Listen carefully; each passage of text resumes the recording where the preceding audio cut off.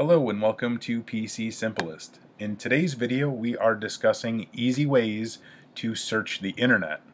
Now why we're going over this is because I see a lot of people do the following. They'll go and they'll type in their address bar, you know, www.google.com or bing.com, and then they'll go and they'll click in the other bar for the search and start typing in what they want to search. There's a much easier way to do this, and all you have to do is type whatever you want to search into your address bar. And this works in Google Chrome, it works in Internet Explorer, and it also works in Firefox. I'm just going to show you a couple quick examples. I'm going to use Google Chrome and Internet Explorer as an example, also just so you can see the different browsers and how they function.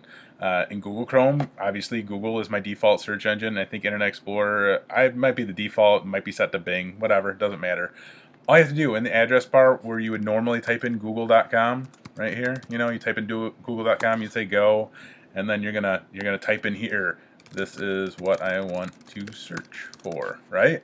No. All you have to do in your address bar is say how do you build a snowman? Hit enter and it's to take you right to a search page. Let's show you again.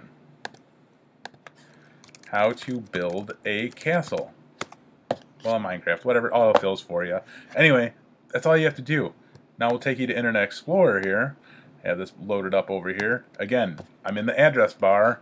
How to search the internet. Type it in, takes me right to Bing. I don't have to type in bing.com. I don't have to type in google.com. All I need to do is type in the address bar what I want to search for. And it takes me right to a search page. So it's really, it's that simple. I mean, that's all you got to do. Type in your address bar, searching. That's it.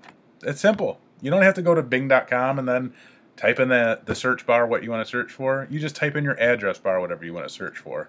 I hope you found this video extremely useful and this will definitely increase your productivity. And that's huge because it literally takes seconds. I mean, we're talking at least five seconds most of the time on just doing something that's so simple.